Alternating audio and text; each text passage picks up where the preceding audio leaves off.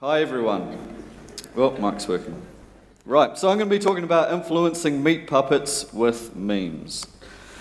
Um, so, yeah, my name's Bogan, Captain Bogan to you today, if you see me wandering around. Um, I have four babies, three of them made of flesh and bone, and a steel, steel baby here, um, my Datsun 120Y. Um, with this owning a car like this, people will stop me. Like, I'll, I'll be at the traffic lights, window down, um, engine purring, and someone will come up to me and tell me how they met their wife and they consummated their vows in the backseat of a car just like mine.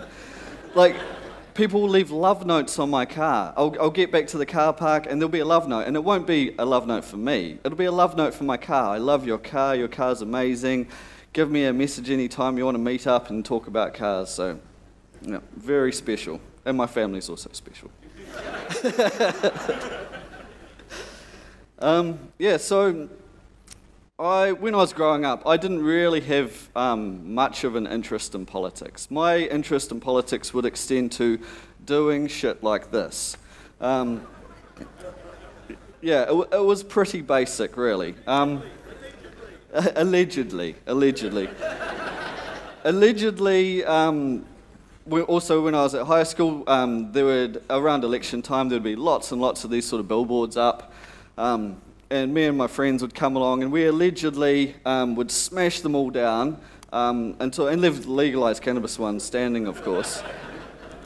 Um, my father was a police officer, um, and And one day I was at home, and this um, sometimes his friends would come around and visit. And I knew who most of his friends were, but one time this um, this officer came around to visit, and I did not know who this officer was. My father told me to go and get the door, and it turned out to be someone else's friend. But I'm pretty sure um, because the police had stopped us after we'd done this, and then given us a round of questioning. We're like, oh, we don't know what had happened. Must have been someone else. Um, but he had found out that it was me, and um, got a new officer to come around and have a wee, wee chat and just got the shits up me. Nothing actually happened, but yeah.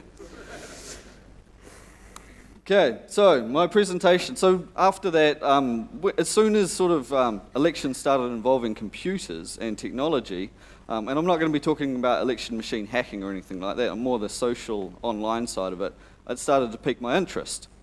So today I'm going to talk about the New Zealand election, and we're going to look a bit about the US election, um, how to create your own troll army, how to do this at home, and then some countermeasures that um, you might want to take. Right, so we had an election recently, we all know that, um, and most of the advertising for that election was um, you'd receive a coloured piece of cardboard in your uh, mailbox, and didn't matter if you lived in South Auckland or Wainuiomata or in Brooklyn, you got the same piece of cardboard, and it told you, I don't know, I just threw it in the bin. um, they also had some um, terrestrial television advertisements. I don't know who watches that stuff anymore. Um, if it's not on YouTube or on Netflix, I'm not watching it. Newspaper, again, um, I think old people read that. Um, some, they have them at cafes actually, and you can. Oh, yeah, yeah I am old. Yeah. Uh, billboards again, some social media, but there was no real direct, targeted advertising, the stuff we really enjoy. Um, and we um, had an election, and um, Jacinda Ardern was elected. I'm pretty sure someone from the CERT actually did this defacement. I've seen them wearing those pirate t shirts around and talking like pirates. They may have been involved. Allegedly. Um, so there was some social media impact on um, on stuff.co.nz. Comments went through the roof. Um, the number of adverts appearing on Facebook. So if you're in your own echo chamber with all your buddies who are Labour supporters, you might see some Labour targeted advertisements. Um, but it, there was nothing untoward. There's nothing like lock her up, lock her up. It was, um, yeah, it was just like here's some great policies that we're implementing or want to implement. Um, so there was a guy down in Dunedin, or there is a guy called David Hood, and he was actually um, conducting analysis on it. So he was um, grabbing, he, he set up some bots to monitor all the different Twitter accounts. He would pull down all the tweets, and he used um, R to do um, analysis on um, on all of these tweets to figure out if there was anyone or any bots sort of operating in the New Zealand space. And so this one here, um, just Twitter accounts talking about tax, any PR people want to own up. You can see there's 20 tweets there. Um, here's another one, Nerd Rage Quantified. So he had measured the sentiment around people talking about um, Steven Joyce and Bill English um, to see um, uh, how angry they were about these people. But again, a really low number of tweets. Then he looked at um, links, uh, oh, sorry, uh, parties that were replying to themselves, and you can see there New Zealand First is talking to themselves a lot, which is not surprising. Um, and then we've got here, he's analysing also the links as well, where um, people were feeding out to other articles. And yeah, not a great deal. So we can sort of discern from that and from what I've talked to other people um, that there wasn't much meddling going on in our local election. The US, however, is a different uh, can of worms. So um, political advertising over there is a huge, huge thing. Um, Trump was mocked mercilessly for not spending money on traditional television ads like um, Crooked Hillary was. She spent 140 million on television adverts. Whereas Trump, he was like, you know what, I'm just going to go on Facebook. And he set up Trump TV, which was some kind of live stream TV thing. Um, and after, before and after the second debate, he raked in um, $9 million in two hour time frame. So instead of spending 140 million, he made 9 million. That's a lot better, right? Um, what we didn't realize at the time that were, uh, Trump and his cronies were uh, launching a multi-pronged attack. So it was a blitzkrieg of sorts. Um, it was short, fast. Well, it wasn't that short, but it was, it was fast and it was powerful. Um, and they sort of um, sent the opposition into a tailspin. They didn't know what to do. And to accomplish this, they used a puppet. But not just one puppet, lots of puppets, sock puppets. And these sock puppets were turning out ads like this, or content like this, or memes like this. How to make America great again, like if you agree. So they're engaging with the audience. They got this um, shocking image there. Um, and that, like if I show you most of these ads that they were creating, it's probably some kind of code of conduct violation because they're horrific. There's, this is them in, in small format. Oh, you can probably actually see those. Um, yeah, but there, there's like people of um, Mexican people standing on landmines and blowing up in the air. Um, there's just horrible, horrible, um, racist, disgusting adverts that these people created to try and um, force their message on the Americans. So there was a person on Twitter who was uh, analyzing um, from um, what was happening the, on the Twitter side of things and how many accounts were getting involved in it. Um, here they are searching followers for similarly named accounts, um, 63,099 accounts, and something looks a little bit strange about those accounts. Um, they look somewhat sequential. And what happens when you register a Twitter account, so say I'm registering Simon Howard, um, if Simon Howard's already taken, it'll be Simon Howard and then a series of random numbers. And so if you're using a bot to automate Twitter account registration, this is what it looks like. Um, so one of the largest nodes in that Twitter botnet was uh, an account called David Joe. And this account had been around for a while, since 2013, and this one was um, predominantly aligned with uh, UK um, manipulation. Uh, so they looked at, um, he looked at what time the uh, account was tweeting from. And so seems to be around Moscow time there, eight, doing a 12 hour shift. Um, and we'll see a bit later on that um, they actually do operate 24 7, but this account maybe was one that had been curated. Like, so it was, it was someone's baby. They, they'd been looking after this account for a long time, and they didn't want to let any of the other analysts sort of jump on it, so they just did, their, did their tweeting during business time. Um, you can see from this picture here that they're, um, they're tweeting around a variety of different topics.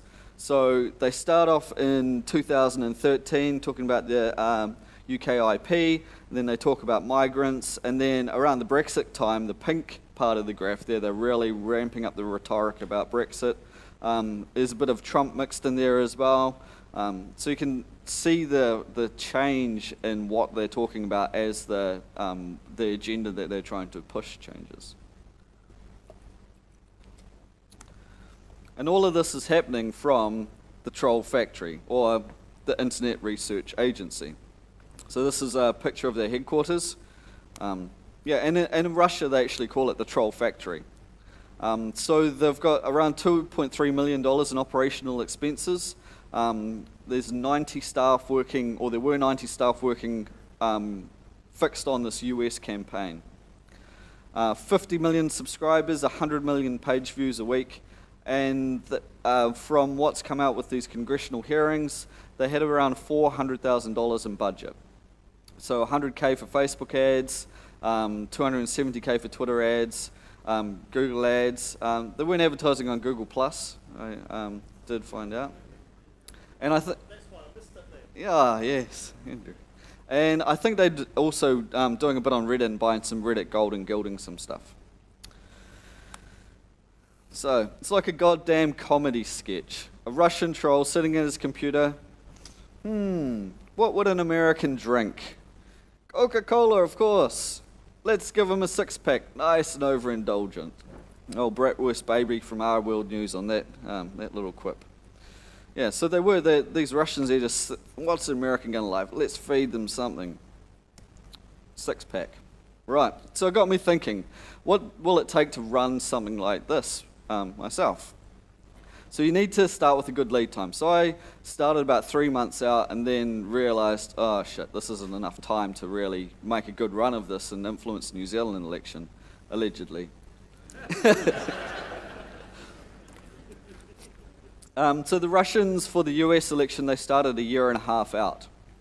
Um, so you need to create a team, get all your sock puppets running, tailor your message, deliver it, and then monitor it to make sure that your message is having the des desired effect. So it can't be that hard, right? So our team. So we need linguists um, who can write better English than I. We need psychologists who can figure out how to um, tailor the message to um, play with people's minds. We need designers, artists, cartoonists to create the content. Um, we need DevOps to manage all our infrastructure for all our proxies and all our, um, and our AI, machine learning infrastructure, where we're going to start automating the creation of some of our content and automating creation on our social media profiles so that they stay live and they look legitimate. And then we're probably going to need some hackers as well, because everyone loves hackers. Um, and they help us bypass CAPTCHAs, they help us um, figure out ways around the mechanisms that these companies are putting in place to detect these types of fake accounts. Um, so yeah, everyone needs a hacker. Eh? no, no, no, no. so the US um, put together a publication uh, called JP13, um, which the chiefs of staff, so that's Navy and Air Force and Army, um, it's the Information Operations Guide. So they've actually written out a paper on how to plan, prepare, execute, and assess information operations. And this is a really comprehensive document, and it's awesome. So if you want to go and run one of these campaigns yourself, go and grab a copy of that PDF and get stuck in. If you do have a clearance, you may not be allowed to get it though.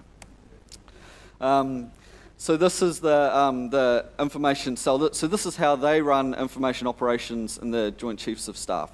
So there's a lot, a lot of moving parts there. Um, a lot of acronyms because they love acronyms. You will notice here that legal is involved.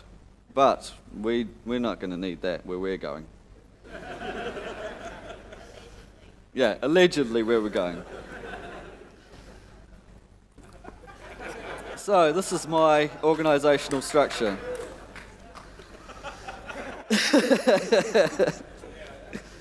Yeah. So the cell chief, Captain Bogan here. Um, we've got a content creation lead, and they're going to be in charge of the psychologist, the linguist, um, strategic, um, sorry, the designer and artist, and our meme consultant, Mr. Um, Mango PDF. Um, he's on board. We had a lot of beers the other night. Well, I had a lot of beers, um, and he is, yeah, he's he's on board.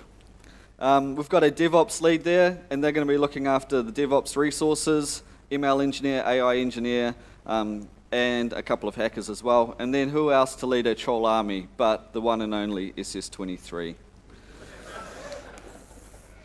yeah, so we'll have a couple of trolls under him. Um, yeah, so we're building um, Chaos IT City here. Has anyone seen this episode of South Park? Yeah, it's great. Right, so we want to build our team on the cheap, right? I don't want to spend like lots and lots of money. I don't have a $2.3 million budget, so I'm going to outsource all these positions to contractors on. Um, um, so you can use Elance, or uh, I think Elance has changed to something else now. Freelancer.co.nz. Um, and conduct all your online interviews, and then um, pay everyone in Bitcoin because we want to, um, or some other hipster, uh, hipster cryptocurrency of the day, um, because we want to be kind of anonymous. So there's XBT Freelancer where you can go and find these types of resources and pay them in um, Bitcoins. All right, this is a, um, the actual... The salary of 40 to 50,000 rubles with the schedule of work from 2100 to 0900 in the office in the Primorsky district. Job duties include writing on the given topic, news information and analytical. Employee skills required are free English, including confident possession of written language and creativity. Yeah, so they were actually advertising on superjob.ru for um, trolls. This is a troll advert. This is what one looks like. This is how I hired Stephen.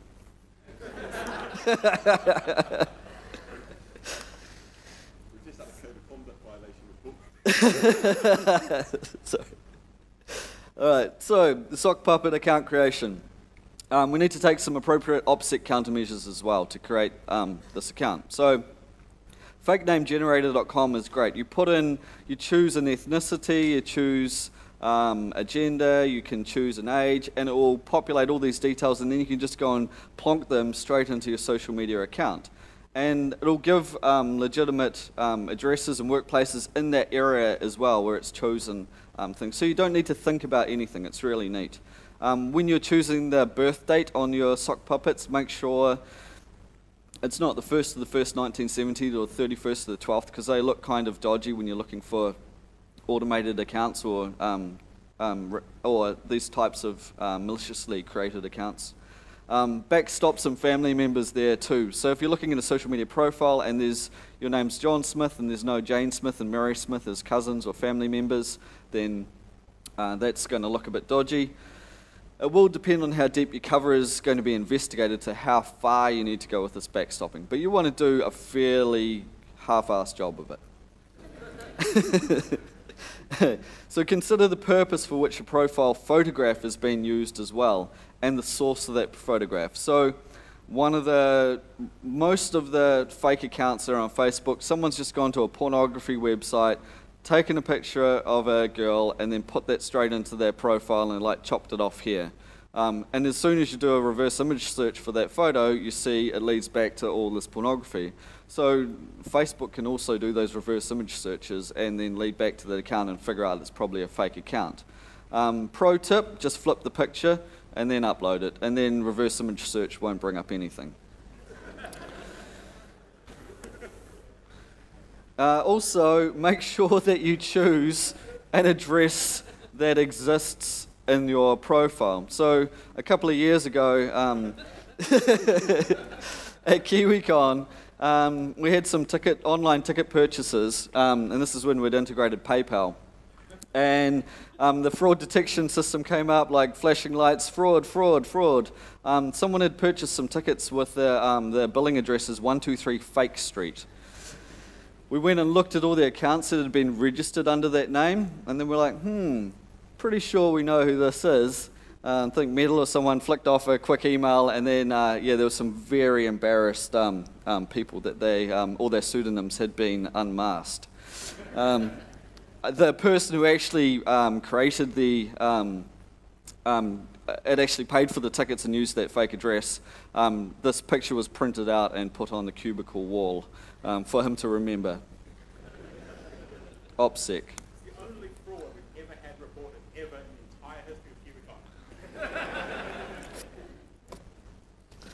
Right, so OPSEC countermeasures. You need proxies, obviously. You don't want all of your, if you're managing 100 accounts, you don't want them all to come out of your home IP address. That's a bad idea. Um, so you need proxies, you need to spin them up on AWS or something, somewhere um, that where you can still log into Facebook from. Um, burner phones as well. Um, you can use Twilio. So Twilio is a pretty neat service where you can just sign up and get a, um, a SMS number. Um, because you want to use SMS to um, bolster the validity of your profile, or you want to implement 2FA on your profiles to make them seem more legitimate. Um, Twilio doesn't support SMS for New Zealand numbers, so if you're creating uh, New Zealand profiles, you probably want New Zealand SMS numbers to go with them. So you could always create your own SMS service, right?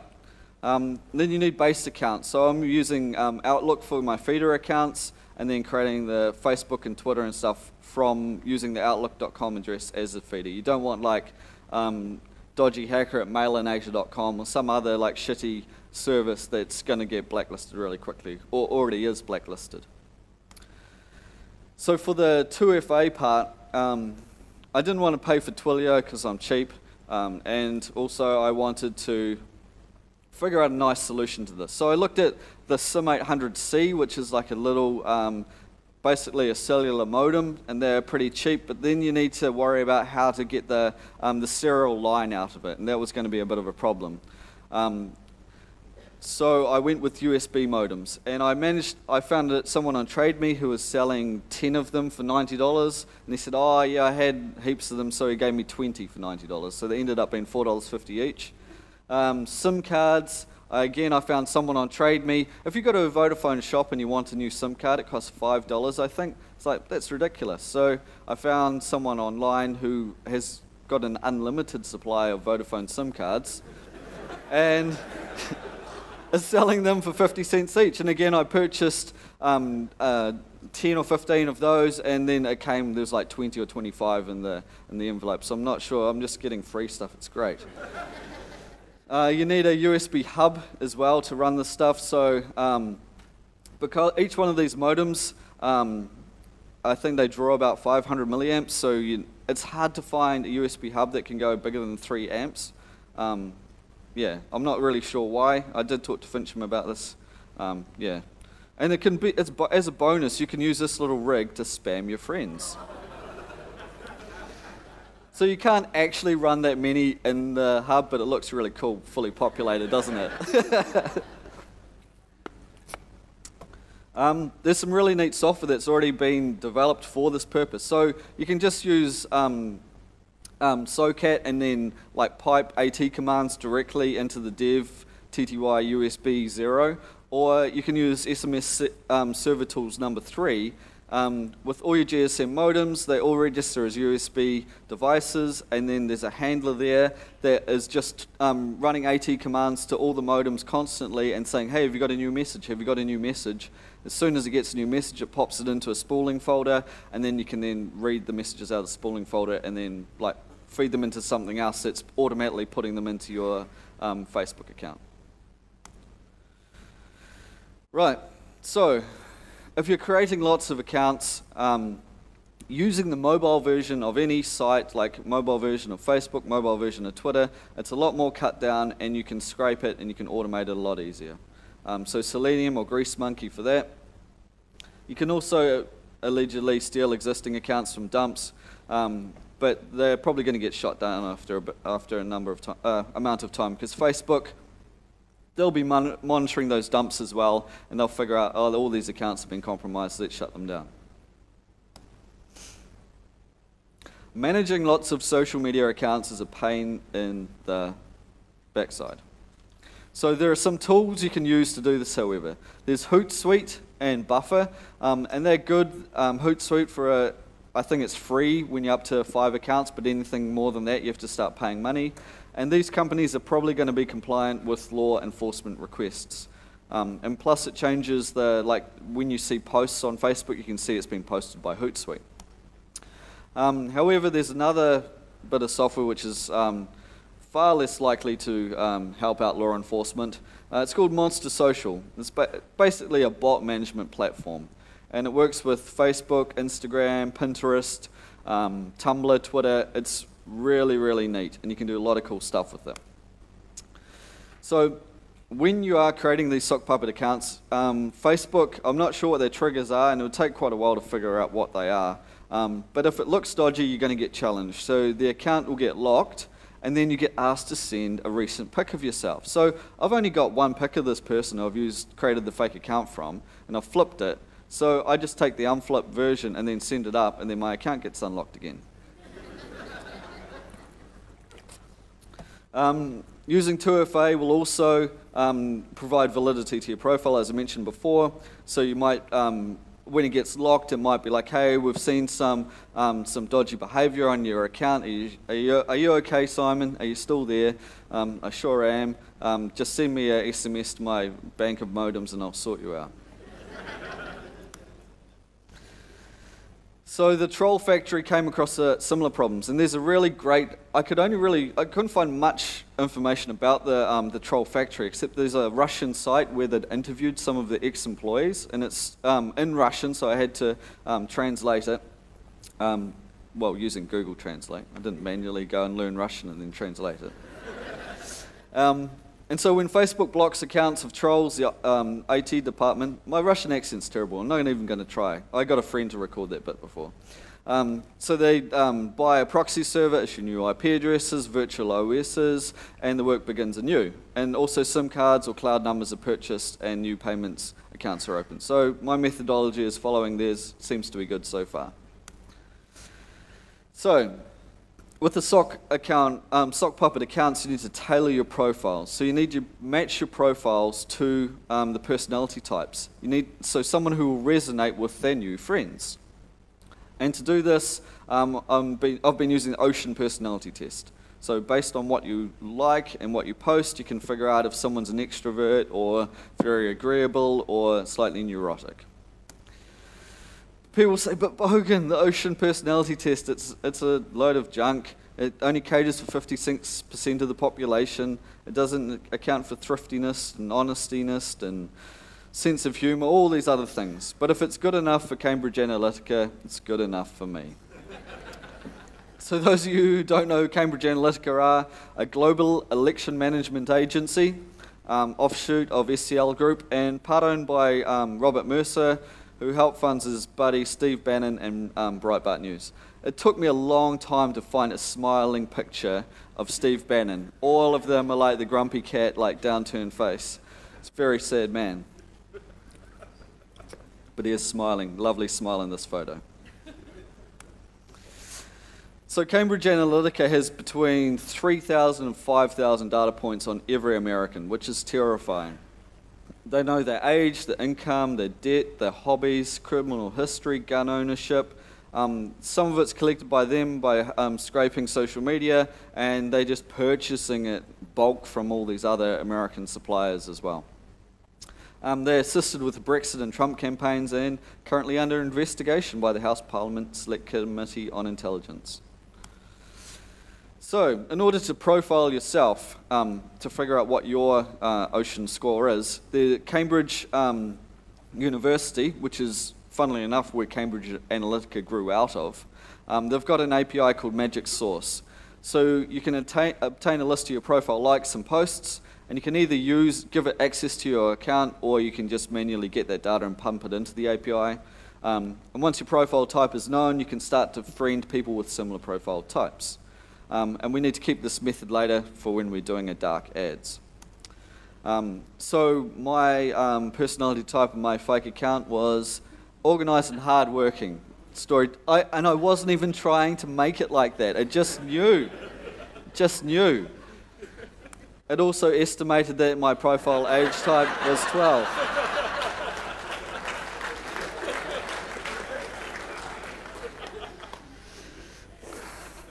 It's mainly because I was doing what kind of cat are you surveys.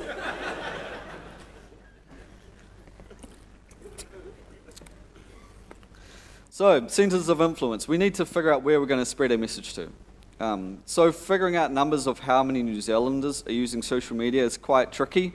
Um, Facebook reckon they've got about 2.9 million um, New Zealand users. Each of them visit Facebook 14 times a day, rotting their brain for 50 minutes. Twitter has around 500,000, um, Instagram and the old stuff comments. Center of influence. Um, we're also figuring out, um, because we're going to be targeting, targeting specific electorates in New Zealand, because each electorate down south, they're a little bit more different. Uh, we're, we're up, no, up north. Um, so um, parliament.nz website has got a lot of great demographic information as well, which we could um, feed in. Um, getting some friends. So Facebook location search will allow you to um, figure out where your new friends are going to come from. Um, we can see here some people in Gore Southland working at KFC and doing a whole lot of F all at unemployed, and he spelled unemployed wrong. Um, yeah, you used to be able to use the API to do this, but now you have to scrape using the web UI, which is a bit annoying. Um, this is what Monster Social looks like doing it. To their friends list. You know, they could have 100, 200, 1,000, 5,000 friends. I'm going to make them suggest to every single one of their friends to add whatever account I choose. Now in this um, demonstration I'm going to be making them add Kai Davidson. So I'm going to put Kai Davidson's URL in the program here and now it's going to start logging into all of these accounts at once and it's going to start sending suggestions. So fetching receivers, if we have a look it's starting to send suggestions. So what's going to happen is every single one of these people that are coming up right now are going to get a suggestion it's going to come up in their little friends box right here telling them to add them. Now, look, you can do this manually if you want, but you can also do it with Monster Social. As you can see what I'm doing here, and I'm doing this many at once. Now have a look at this, 117 friends. Like, so that was pretty quick. So for every, so he's only running like six or seven fake accounts there, and each one of those has got 5,000, 1,000, oh sorry, 500, 1,000, 1,500 friends they all get suggested to add this new account, and then suddenly that new account is like if I let that video run for longer, it goes 100, 200, 300, and pretty soon, like within a few seconds, you've got 500 friends on that account. And so the ability to ramp up and create your sock puppet army, once you've got a few feeder accounts, you can just start going nuts. It's ridiculous. And that's just that suggest a friend feature of Facebook. Um, hitting your straps. So one of the fake accounts I was running, um, I created, I, I, started adding a few people, and people just accept your friend requests. We all know this on, on Facebook because they want to be liked. They want to have more friends than their friend. Um, and as soon as you get into the bot networks, because there's lots of existing bot networks out there, um, then you, the, the friend requests just start flying in. So one morning I'd um, added some people with um, um, or some bots effectively, and then they had then suggested out to their bot network, say this person's accepting these friend requests, and then like the next morning I wake up and there's like 228 new requests, then 290, and then if I add all of those to my account, then I'll have 500 new friend requests. And within the period of a week, you can probably get to the 5,000 friend limit um, pretty bloody quickly. Um, creation of content. So a pro-gun voter whose ocean score ranks him high in neuroticism, could see storm clouds in a threat. The Democrat wants to take his guns away. So we want to create content like that. We want to make people scared. Um, so Facebook, allegedly. So Facebook split testing helps you do this. They help you test different ads, see what kind of impact they're going to have, and see who's going to click on stuff and, and do things. Um, so the um, Hilton um, hotel chain um, used this exact technique to run um, some adverts that they were doing um, to see which types of people were clicking on ads. And so if you've got someone with high extroversion, um, they're, they're very open and keen on doing things, then let's give them an ad where someone's like whacking a volleyball and outside with their shirt off and like high fives all around.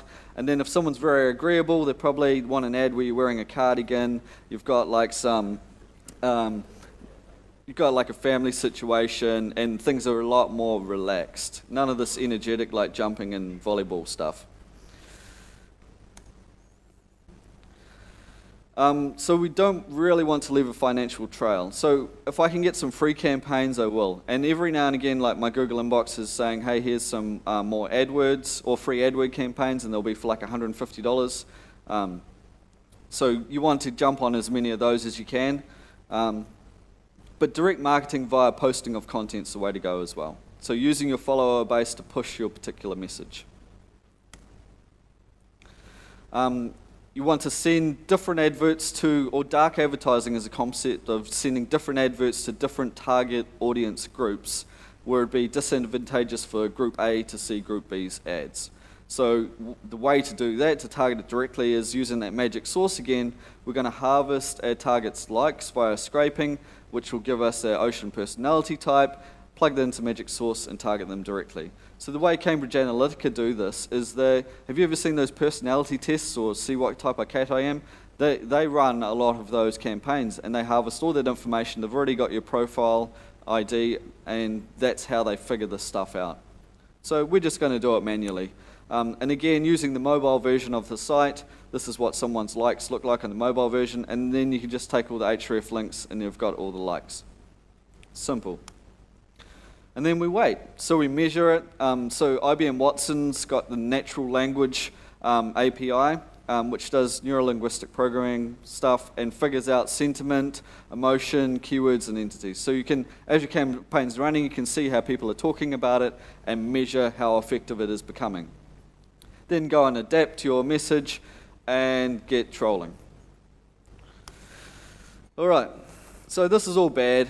What kind of countermeasures can we take? I always like, like having an idea of like how we can possibly fix this horrible, horrible situation. So we're building these Silicon Valley platforms that are set up to optimize for self-radicalization. Uh,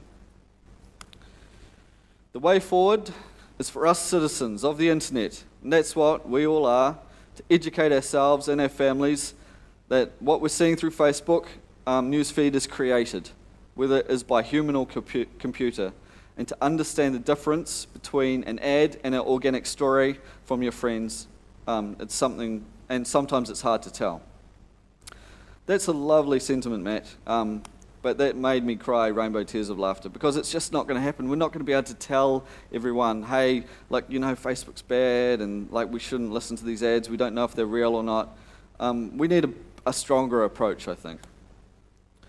Um, regulators like the Electoral, uh, Electoral Commission would always be playing catch up when it came to regulating emerging technology.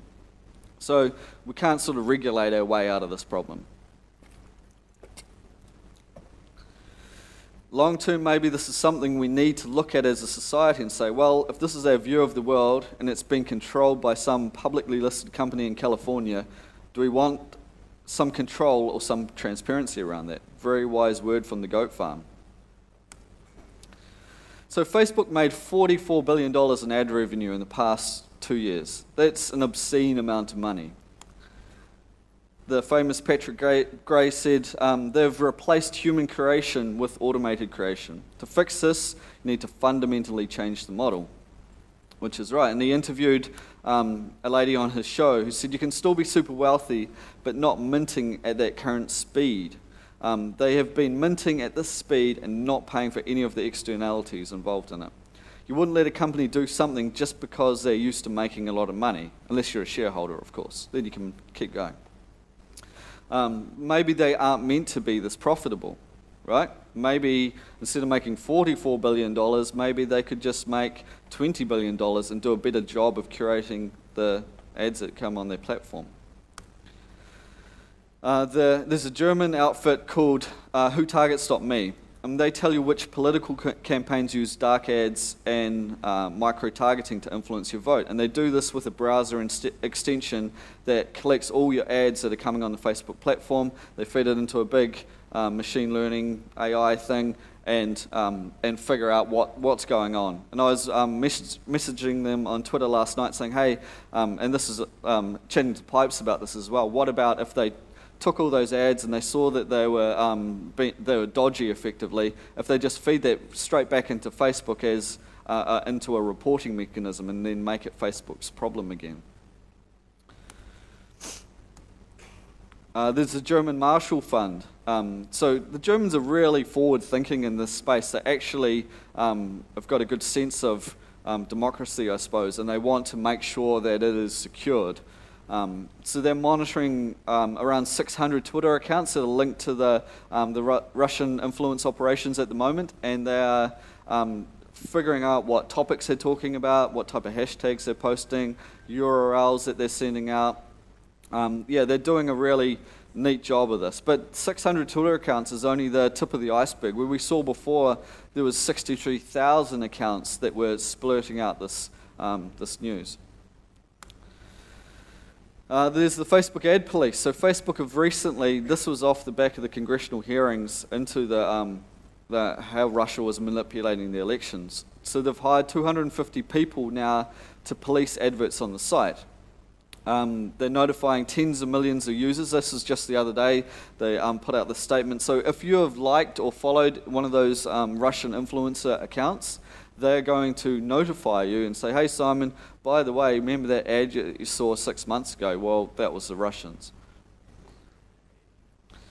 Um, and they're also implementing mechanisms to detect fake news. Um, so AI, manual fact checking. Um, so it's a small, um, a small step, but hopefully we'll see this um, capability grow. Twitter as well, doing a great job as always. Um, everyone celebrated the 280 characters. Meanwhile, Twitter verified another white supremacist. So, what can we do? Delete Facebook, delete Twitter, go outside and play in the sunshine.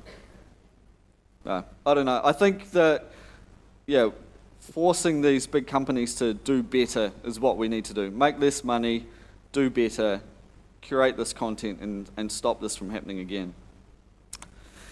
Because there's a war out there, old friend, a world war. It's not about who got the most bullets, it's about who controls the information. So I will be running for the 2021 election.